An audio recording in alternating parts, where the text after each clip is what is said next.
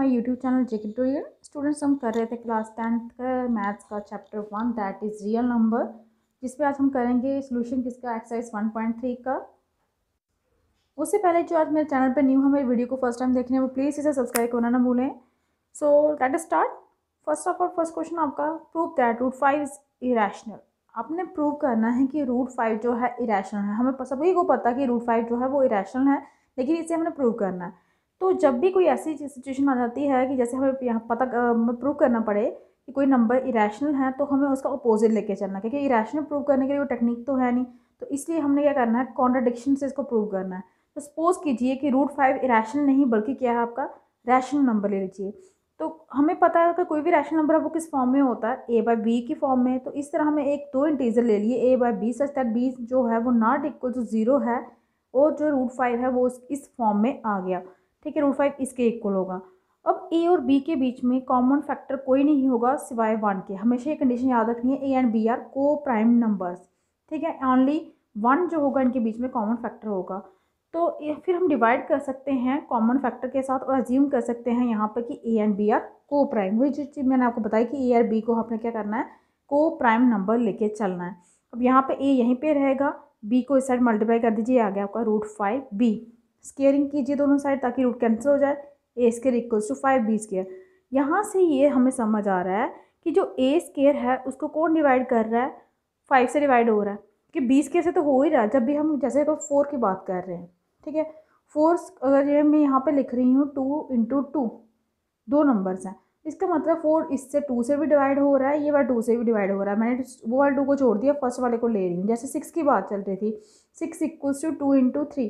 इसका मतलब होता है कि सिक्स जो है टू से भी डिवाइड हो रहा है थ्री से भी डिवाइड हो रहा है। लेकिन अभी मैं बोल रही कि सिक्स टू से डिवाइड हो रहा है। यही कंडीशन यहाँ पे है कि जो ए स्केयर है, वो डिवाइड हो रहा है फाइव से। तो इसका मतलब हम कह सकते हैं कि ए स्केयर अगर फाइव से डिवाइड हो रहा है तो ए भी फाइव से होगा। अगर आपका ट्वेंटी फाइव फाइव से डिवाइड होता है फाइव का स्केयर है तो ट्वेंटी फाइव किसका स्केयर है? फाइव का स्केयर है, वो भी किससे डिवाइड होगा? फाइव से डिवाइड हो जाएगा। तो सपोज़ कीजिए अगर ए जो है वो फाइव से डिवाइड हो रहा है तो ए इक्वल्स टू फाइव के जैसे कि यहाँ पे अगर फाइव फाइव से डिवाइड हो रहा है तो A equals to five into K suppose कर लीजिए आपका क्या आ गया? One five one so five ठीक है? के कोई इंटीजर आपका। स्केयरिंग की, यहाँ पे देखिए फाइव के का हमने लिया होल स्केयर तो यहाँ पे आ गया फाइव बी का स्केयर क्यों? जब स्केयरिंग करेंगे आप, यहाँ पे फाइव के का होल स्केयर वो आपका क्या है? ए स्केयर आ जाएगा। ए स्केयर किसके इक्वल आपका? फाइव बी का स्केयर यहाँ से ये इक्वल आ गए। यहाँ से क्या आ गया? यहाँ से हमें दिखाई दे रहा है कि जो बी स्केयर है इस डिविजिबल बाय फाइव वो भी किससे डिवाइड हो रहा है? फाइव से। इस साइड है नंबर तो बी भी डिवाइड किससे हो गया? फाइव से। ऊपर हमने किया कि ए भी डिवाइड से हो रहा है फाइव से बी भी डिवाइड हो रहा है तो ए और बी में कॉमन नंबर क्या कौन सा हो गया यहाँ पे? फाइव जो कि पॉसिबल ही नहीं है। हम स्टार्टिंग में लेके चल रहे हैं कि ए एंड बी जो है, उनके बीच में कॉमन फैक्टर सिर्फ़ एक है, वो है वन क्योंकि ए एंड बी जो है, वो को प्राइम नंबर है। तो यहाँ पे कॉन्ट्रडिक्शन होगी तो जो हम लेके चल रहे थे कि जो रूट फाइव आपका है, वो रैशनल नंबर है, वो रैशनल नहीं, बल्कि इरेशनल है। तो इस तरह से ये प्रूव हो गया कि रूट फाइव जो है, वो आपका इरेशनल नंबर है। उसी के बाद आपका नेक्स्ट क्वेश्चन जो है, वो भी इसी तरह से प्रूव करना प्रूव करना three plus two root five is irrational तो सेम कंडीशन लेंगे आप। सपोज़ कीजिए कि वो रैशनल नहीं है, वो इरेशनल है। आप ए बाय बी की फॉर्म में हो जाएगा ये नंबर अब ये प्लस का थ्री था, उस जाके माइनस का थ्री हो गया और जो टू मल्टीप्लाई में था उस साइड हम हम लेंगे डिवाइड में। अब ए एंड बी जो है इंटीजर हैं, ठीक है? तो one by two into A by B minus three वो भी क्या होगा? रैशनल होगा। नेचुरली ए और बी इंटीजर हैं, यहाँ पे रैशनल नंबर के साथ इंटीजर को मल्टीप्लाई करोगे तो वो भी क्या बन जाएगा? रैशनल बन जाएँगे। तो यहाँ से हमारा हो गया कि रूट फाइव भी जो हमारा है, वो क्या है? रैशनल हो गया। लेकिन ये कॉन्ट्राडिक्ट कर रहा है इस फैक्ट को कि रूट फाइव जो है वो आपका इरेशनल है। अब भी आप भी आपने फ़र्स्ट पार्ट में प्रूव किया है कि रूट फाइव जो है वो आपका इरेशनल है। अगर आपको ये क्वेश्चन लेंथी में आ जाता है तो सेम प्रोसेस से अप्रूव कर दीजिए रूट फाइव जो हमने जैसे फ़र्स्ट में प्रूव किया कि रूट फाइव जो है वो आपका इरेशनल है। तो हमारी जो एजम्पन थी three plus two root five की वो रैशनल है, वो फॉल्स है, वो कॉन्ट्रडिक्ट हो गई। तो हमारा three plus two root five ही क्या आ गया? आपका इरेशनल आ गया।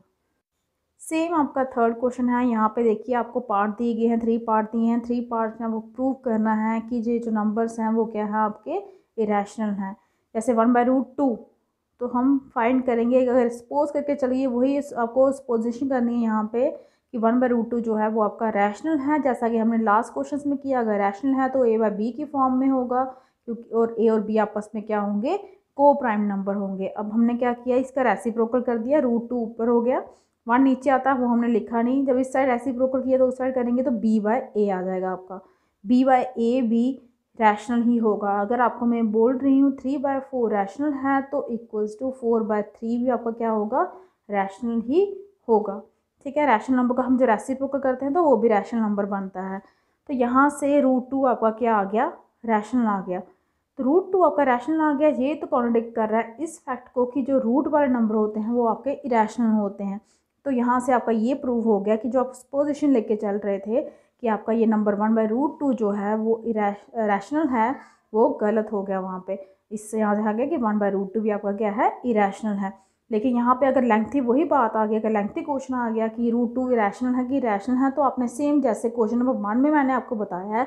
उसी तरह जैसे रूट फाइव को बताया कि वो इरेशनल है, उसी तरह कॉन्ट्रडिक्टी यहाँ पे आप छोड़ के बताओगे कि रूट फाइव भी आपका क्या है? इरेशनल है। प्रूव करना आपने उसी मेथड से। तो यहाँ से हमारी जम्पशन जो थी सो पोजिशन थी वो फॉल्स हो गई। वन बाय टू भी आपका रूट टू भी क्या गया इरेशनल आ गया। नेक्स्ट है सेवन रूट फाइव फिर से वही सपोज़ करोगे कि सेवन रूट फाइव आपका रैशनल है। ठीक है तो यहाँ से वही हो जाएगा कि सेवन रूट फाइव किस फॉर्म में आ जाएगा? ए बाई बी की फॉर्म आ जाएगा। ए और बी जो है वो इंटीजर्स हैं। तो यहाँ पे ए और बी आपस में क्या होंगे?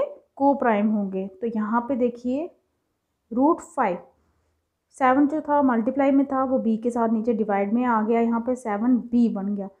अब ए बाय बी रैशनल है। सेवन साथ में मल्टीप्लाई हो जाएगा रैशनल के, वो भी क्या बन जाएगा? रैशनल ही बन जाएगा।